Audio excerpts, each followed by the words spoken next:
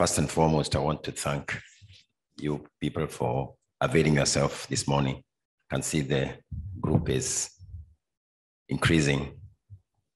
Uh, I want to also appreciate ISN for having educated me this far. And of course, for the contribution ISN has given to us as Kenya Renal Association. I did my nephrology at the Saint Stellenbosch University and Tygerberg Teaching Hospital with Matthew and others, and Razeen Davids and Rafique Moosa, persons I respect so much. And this morning, I want to engage you briefly on what has happened to us uh, during uh, the COVID 19 pandemic and the influence this has had within the transplant landscape. Um, I've got no interest to declare. The company that brought me here, sponsored me here, has no interest in transplantation whatsoever. So I'm free.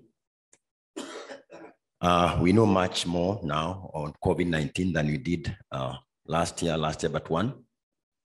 I will not go to the details because we know the science of COVID-19, but I want you to appreciate that acute kidney injury is at the center of this pandemic and patients who get acute kidney injury within this COVID-19 story will often have poor outcomes.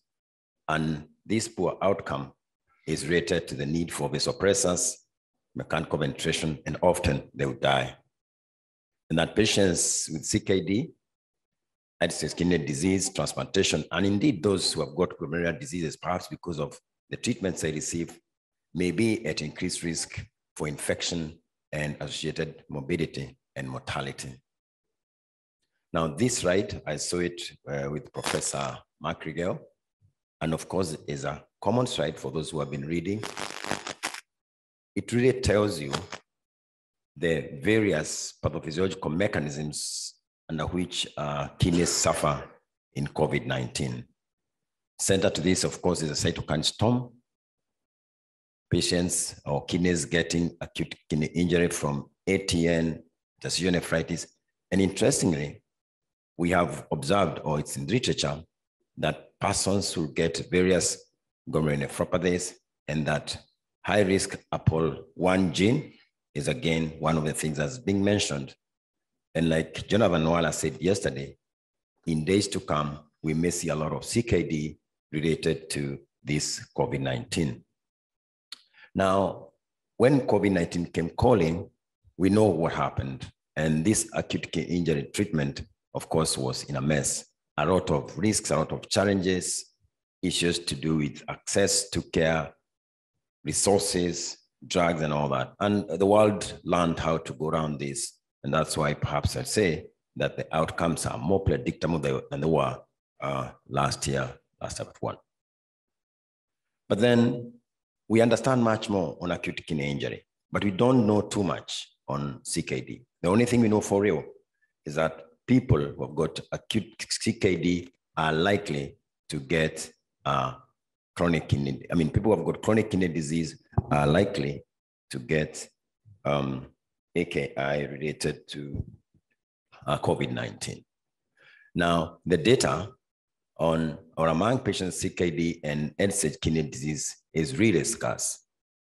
But again, like I said earlier, these long COVID survivors or the long COVID patients are going to have huge risks of progression of their disease.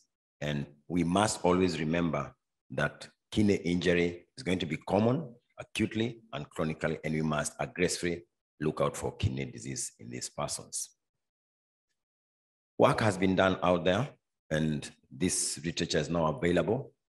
I'm sharing with you a slide which demonstrates or which shows uh, a study which looked at outcomes among patients hospitalized with COVID-19 who either had CKD and end-stage know, disease and COVID, I mean, and those ones who are normal.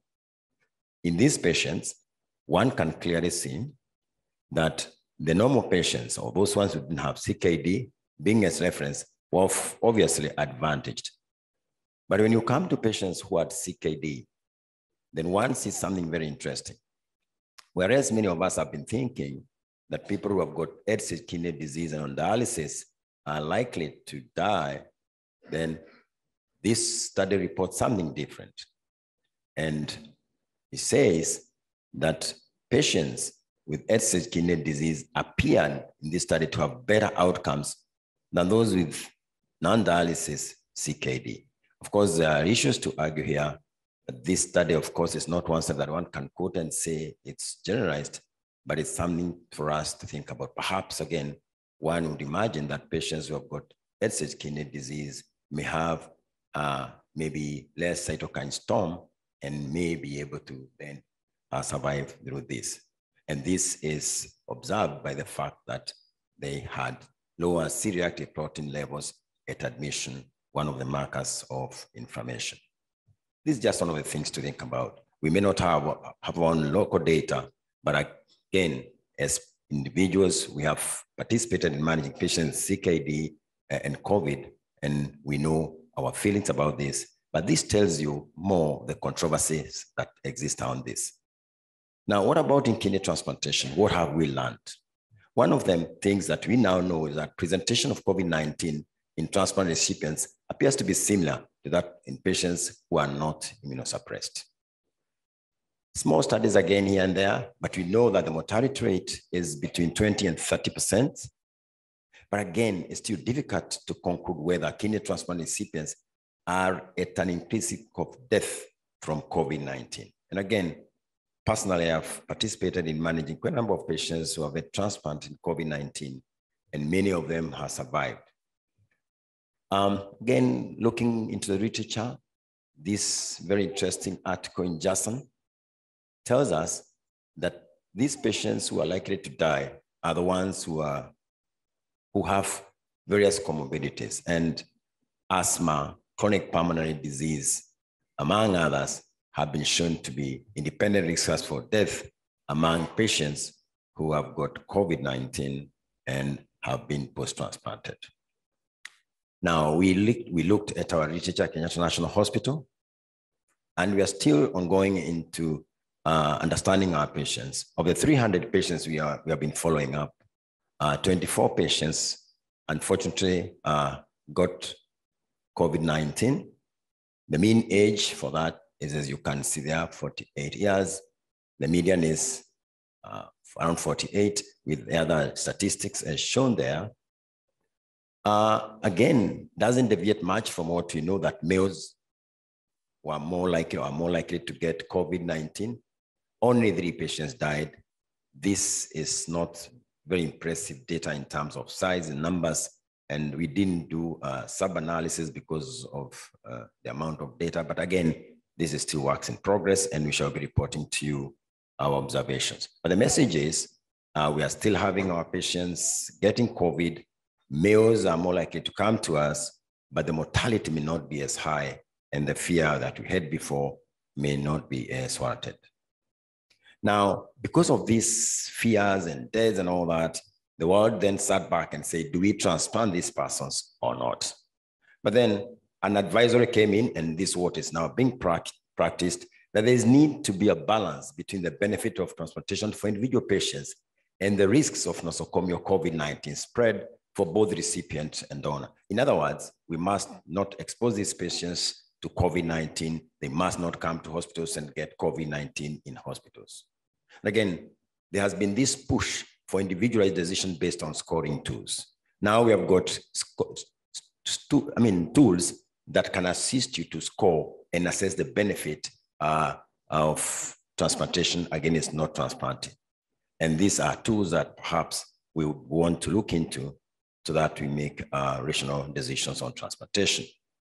Of course, the general measures of transportation, I mean, the general measures of, of trying to contain COVID-19 will apply, but the fact that we need to social distance and all that has pushed deliberately our patients away. We don't want them to come, we want them to stay. And this, among others, has seen a reduction of transplantation rates in the world. Telemedicine, like the one we have been practicing at KNH, from Berkeley, both video and tele uh, telephone, telephonically has been very helpful and the, most of the world has embraced that right now. And this again has been very helpful. But again, there has been considerable barriers to telehealth access, and particularly for the low middle income economies, this has not been available, and this has brought out of inequities to transplantation. Uh, but when clinically appropriate, this is, is a way to go. Defer and don't do a lot of laboratory testings or those which will make your patient come. And for renal biopsy, I don't think there's a time you want to do a lot of renal biopsies. But again, uh, this is not the time to even think about rejection, which uh, would make you want to do a biopsy because management of this can be very, very tricky at this time. Management of COVID-19 protocols have changed over time. A lot of diversities here and there, and individualization of care. But importantly is that the world has learned that this story of immunosuppression is not the way we used to know it. And we can comfortably now manipulate immunosuppression. Sometimes we even go off completely immunosuppression. And for the number of patients I've taken care of, sometimes uh, they have even come out better in terms of their renal function than they were before, perhaps because of the robust use of steroids and stuff like that. So the point is, we are not as fearful as we were uh, when joking around with this immunosuppression. At end of the time, we want the patients to live. Now, generally, within all this matrix, many people will reduce, will reduce immunosuppression, the net immunosuppression, importantly targeting the antimetabolites, uh, and again, depending on the disease situation, uh, come, uh, come down to the, on the CNI. For another issue in management is about now whether to treat patients as outpatients or inpatients. Of course, these are decisions that are made uh, in, within programs. Now, the European Association of Urology, in its contribution towards management of transplantation in the world, has come up with risk management guidelines. Again, central to this again is the abilities of institutions to handle transplantation. They have come up with, with three uh, priority groups, the low priority patients who will be deferred or you can postpone transplantation for six months, uh, provided there's no harm. Then you have got the high priority and emergency category who needs transplantation. And in between, you have got the intermediate category. Now, this one, coupled with the simulated tools I mentioned earlier, would be a better guide for, for people, practitioners of transplantation, to think about in trying to offer transplantation. So basically, we have observed a reduced uh, uptake of transplantation all over the world. And this has been because of scarcity of hospital resources, limited testing abilities and capacity capacities. Some institutions still cannot do the SARS-CoV, uh, SARS-CoV-2 PCR testings. We do not understand. Sometimes you have got problems with the sensitivities. Many other times we wanted to do a transplant then we tested the patient. Yesterday, the patient was negative. Today, we test the patient is positive. All these uncertainties has contributed into us slowing down. And of course, uh, those outcome concerns, like concerns I mentioned earlier of who will live and who will die. Then comes in the ethical issues of transplantation. Again, this has been challenging, but have not yet been addressed. For example, how ethical is it to keep someone on the list because they live with people who are at high risk for spreading COVID-19? It means that persons who live in settlement areas because of the crowding and all that may be pushed off. And then the most affluent people who are able to stay one acre from each other will get transplantation. These are ethical issues. Is it ethical for hospitals to suppress transplant volumes to maintain ICU beds in anticipation for additional future of COVID-19 resource burden? Because often with transplant patients, they get very sick, they go to ICU, they block a bed. So people then would say, oh, wait a minute, transplantation is not that serious. So how ethical is that? How ethical is that we deny patient transplantation when you know that it's life-saving so that we can save, save, save others? So these are ethical issues that need to be tackled and the world is still out there looking for, for solutions for this. Stock and others have recently commented in Transplantation Journal, and this is what they are saying. Programmatic decisions about transplantation will weigh more heavily on distributive justice beneficence and non-maleficence than respect for autonomy. Who benefits more and, and others without harming them is what we are saying. Ethical issues here, which needs to be addressed and indeed very, very important. In conclusion, ladies and gentlemen, COVID-19 has adv adversely affected the landscape of global transplantation, and there's been a need to change protocols during the pandemic. Uh, equity and access to kidney transplantation has been influenced by economics and has adversely affected uh, the low middle income countries like ourselves. Vaccine equity has been a major challenge. We've been pushing and pushing our transplant patients must get vaccines and all that. And we all know the story of vaccines. Uh, the influence of the pandemic in ethical and in ethical and unethical practice is a thing we need to every day consider. Uh, these challenges exist and need to be addressed. And as you know, transplantation science is evolving and it's still works in progress. And let's see what happens. Asante sana. Thank you very much.